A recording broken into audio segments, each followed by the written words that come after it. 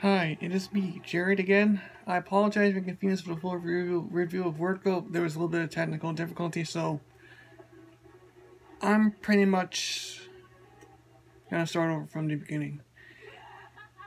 In the beginning of this, in the beginning of my life, there was TV shows like Arthur, Wild Kratts, Cyber Chase, and various other PBS programs we come to know that was currently on.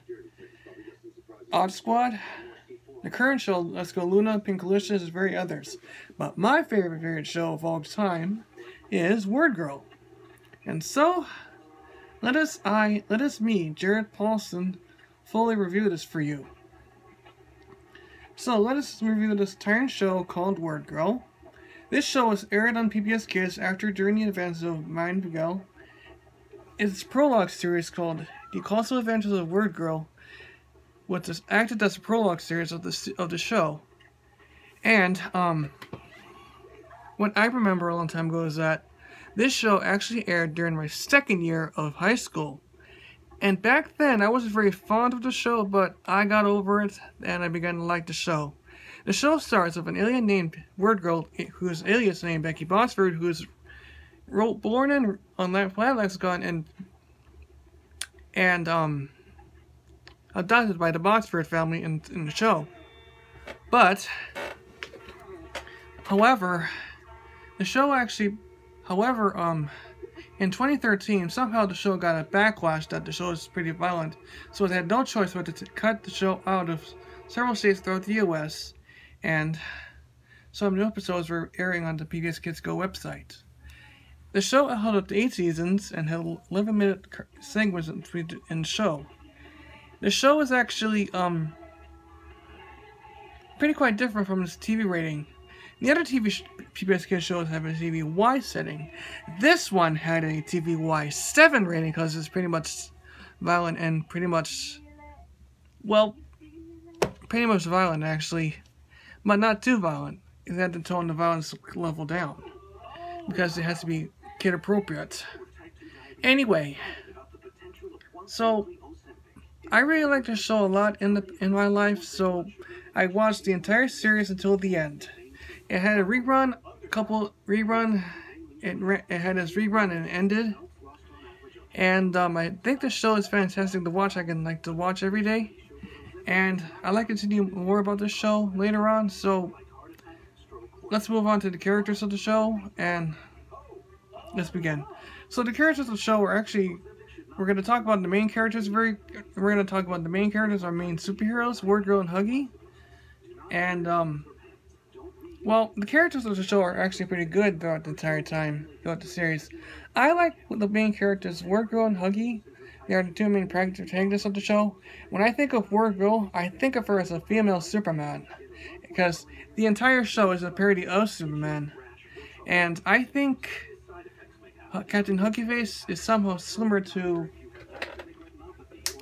Family similar to Robin, aka Bob Botsford. But when we get when when we're talking as we talk about the characters, the character development was actually pretty good throughout the season, even for Word Girl, Huggy, and the rest of the cast. There are some actually some backstories that that were told throughout the episodes that were explained how they became and, and how how they really became the Word Girl characters. And I really thought it was pretty cool that all the characters of Word Girl are actually pretty cool. So, as the series progressed on, more new characters were, came onto the show. New villains. Well, actually, I want to talk about the first five villains. The first five villains of the show were actually the beginning of the series. Like, they had Dr. Two Brains, Toby, Granny May, the Butcher, and Chuck. The first five villains throughout the series. And there was also many other more new villains that were, were more new villains that progressed throughout the series. From season one, we had Birthday Girl, we had Mr. Big, we had the Mass Marauder, and more. In the second season of Word Girl, we had more new villains, such as Nocan the Contrarian, Victor, um, many more new characters of the series as well like I mentioned before, the show held up to eight seasons and it ended with a two-part episode called Rhyme and Reason, and I that somehow cleared up the entire series.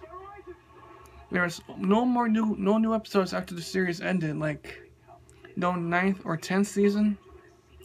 And it was pretty much a shame, but it was a great series. I was a huge fan of that series. I was very proud of it, and I was very confident with the series. Anyway, more I like about the show is that at the end of each episode, they have a segment called May I Have a Word. We had three contestants, Phil, Tommy, and Emily, with their host, Beau Handsome, and their prize giver away, Captain Huggyface. Did I mention Captain Huggyface is actually in these segments as well, as well as the end of each episode with the um, what feelings that the narrator announces to him?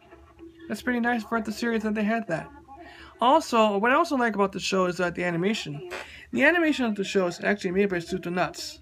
I like that animation a lot because it has a very similar animation to um, the SpongeBob SquarePants and other cartoons that were on.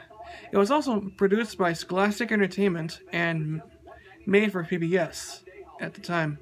More new. Also, I want to talk about more of the seasons and more new characters of the show. More new characters of the show we had were um, Kid Math was debuted on season 7, which I told myself, I wish they had a Kid Math TV series, like spin-off.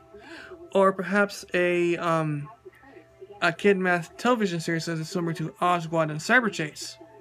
Now, comment below if that's good for, for my opinion. Anyway, um, there's more I'd like to talk about the show. It is the music and the sound. The sound effects and the music are pretty good in the series is that the sound effects of the show um are actually pretty quite good. Every time the word girl episode starts up or the show starts up, we hear a word girl sound music clip from the beginning, and we every time that show ends, we hear that too. The music of the show is actually pretty quite good as well, and it has a good theme song. It had pretty good production music, and it had lots of very good vocalists of this series, like the good voice cast of the show. We have Donna Furman voicing the main, main protagonist. Um, James Adomian, please comment below if I said, that I said right. And many other voice of the rest of the cast did the roles. Anyway, that's all my review I can talk about Word Girl. Overall, the show is fantastic to watch. We have now currently have Let's Go Luna that's premiered on yesterday. And I want to do my thoughts on this on Let's Go Luna. This show is, is fantastic. I really like this show, and it is a very good show to watch. I no less. And I know some people had very hard angry rants about the show that's not very good, but screw those guys. I really like this show a lot. So anyway, for Word Girl, I give it a 9.2 out of 10. Well, let's. I want to continue on from here. As the series has progressed progressed on, some of the new episodes were not very that very good. Anyway, that's all I can say about Word Go. Like I said, I give the show a 9.2 out of 10. Now, I'm going to do a separate video to talk about the Rise of Miss Power one hour, this one hour movie. One hour Word Go special I'm going to talk about for the next review. So, this is Jared Paulson saying signing off and see you next time.